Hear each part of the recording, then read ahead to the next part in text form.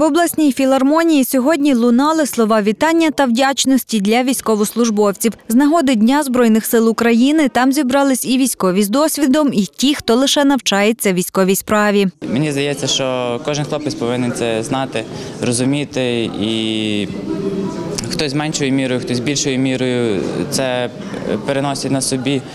Звичайно, зараз я тільки навчаюся на це все. Я не знаю, як, як, як, як говорити з іншої сторони. Хлопців, які були на сході, я не можу вам сказати.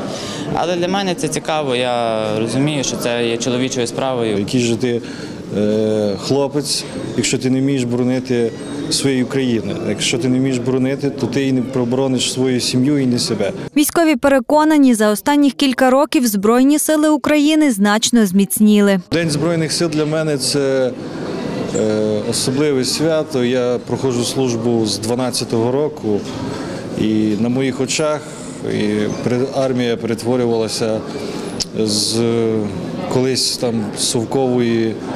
е, Вже занедбаної структури до цього потужного війська, яке зараз є в нас, яке ну, стоїть зараз на захисті нашої країни і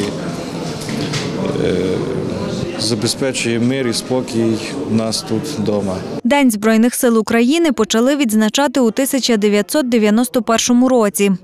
Хоча справжня історія української армії і українських збройних сил сягає тисячоліття, а кращі традиції їхні формувалися протягом багатьох років кривавих воїн, боротьби, походів, починаючи з древніх часів Київської Русі, княжої доби, козацької доби, вояків ОУНУПА, стрілецтва і закінчуючи сьогоднішніми учасниками, сьогоднішніми героями е, в антитерористичній операції, а також операції Об'єднаних Сил.